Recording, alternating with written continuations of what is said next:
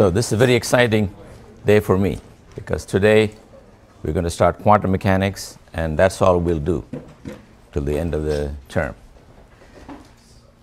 Now, I got bad news and good news.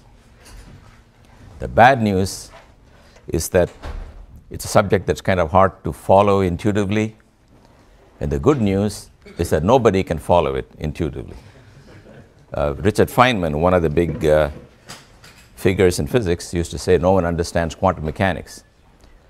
So, in some sense, the pressure is off for you guys because I don't get it and you don't get it and Feynman doesn't get it. The point is, here's my goal. Right now, I am the only one who doesn't understand quantum mechanics.